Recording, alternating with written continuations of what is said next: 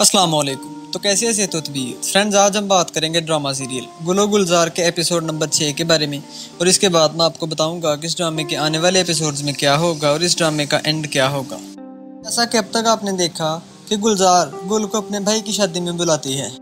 گلزار اسے سارے کپڑے وغیرہ اور سارے زیورات دکھاتی ہے جو انہوں نے بنائے ہوتے ہیں۔ اتنے سارے زیورات دیکھ کر گل کے دل میں لالچ آ جاتا ہے اور جب رات کو گلزار سوتی ہے تو گل وہاں سے زیورات اٹھا کر بھاگ جاتی ہے۔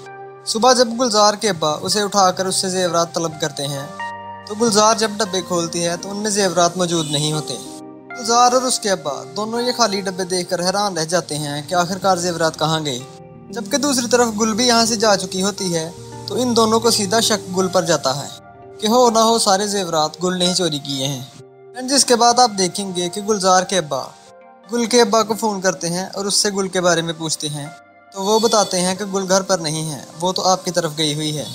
پھر ماسٹر صاحب اسے بتاتے ہیں کہ وہ یہاں پر نہیں ہے ماسٹر صاحب گل کے ابا کو یہ بھی بتاتے ہیں کہ ہمارے گھر سے زیورات چوری ہو گئے ہیں اور ہمیں شک ہے کہ وہ زیورات گل نے چرائے ہیں۔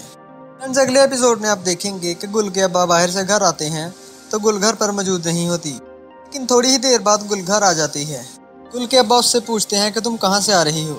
جس پر گل انہیں جواب دیتی ہے کہ میں ماسٹر صاحب کے گھر سے آ رہی ہوں۔ فرینڈز یہاں پر مجھے لگتا ہے کہ گل کی والدہ۔ گل کے ابا سے کہے گی کہ آپ اتنی تفتیش کیوں کر رہے ہیں؟ آپ کو بتایا تو تھا۔ جس پر گل کے ابا چلاتے ہوئے کہتے ہیں، ماسٹر صاحب کہہ رہے ہیں کہ ان کے گھر سے زیور لے کے گئی ہے۔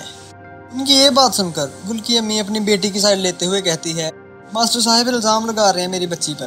ارے، کیوں کرے گی وہ کسی کے گھر سے چوری؟ جس کے بعد آپ دیکھیں گے کہ گلزار جو کہ گل کو اپنی بہت اچھی دوست سمجھتی ہے اور اسے ہر اپنی اچھی اور بری بات بتاتی ہے۔ اسے ہر خوشی اور غمی میں اپنے ساتھ رکھتی ہے۔ گلزار کو گل کی اس حرکت پر بہت زیادہ دکھ ہوتا ہے اور وہ اس کی تصویر کو پھاڑتے ہوئے کہتی ہے، دوست کے روپ میں دشمن نکلی تم گل۔ آستین کا سانپ، جسے میں پالتی رہی۔ جس کے بعد آپ دیکھیں گے کہ گلزار کے ابا پولیس کیس کروانے کے بارے میں کہتے ہیں۔ تو گلزار کے بھائی ان سے کہتے ہیں، اگر مجھے اس بات کا ڈر نہ ہوتا کہ پولیس تفتیش میں میری بہن کو شامل کر سکتی ہے، تو میں کسی کا لحاظ نہ کرتا۔ فرینڈز ان سب حالات کو دیکھتے ہوئے گلزار کے ابا فیصلہ کرتے ہیں کہ وہ گلزار کی شادی جلد سے جلد کر دیں گی اس لیے وہ گلزار سے بنا پوچھے اس کا رشتہ طے کر دیتے ہیں اور گلزار کو اس بات کا تبھی پتہ چلتا ہے جب اس کے ہاتھ میں انگوٹھی پہنائی جاتی ہے کیونکہ گلزار کو اس سب کا علم نہیں ہوتا اور نہ یہ سب اس سے پوچھ کر کیا جا رہا ہے تو اسے یہ سب بہت برا لگتا ہے لیکن فرینڈز یہاں پر آپ کو کیا لگتا ہے کہ کیا ان لوگوں کو گل پر کیس کرنا چاہیے تھا یا نہیں کیا زیورات واقعی گل نے چرائے ہیں یا پھر کوئی اور بھی چوری کر سکتا ہے؟ اپنی رائے نیچے کمنٹ سیکشن میں ضرور دیں۔ اور اگر آپ کو یہ ویڈیو اچھی لگی تو اس ویڈیو کو لائک ضرور کریں اور مزید اچھی اچھی ویڈیوز کے لیے ہمارے چینل کو سبسکرائب کریں اور ساتھ موجود گھنٹی کے نشان کو دبا دیں تاکہ مستقبل میں آنے والی ویڈیوز کی نوٹیفیکیشن آپ کو ملتی رہے۔ شکریہ۔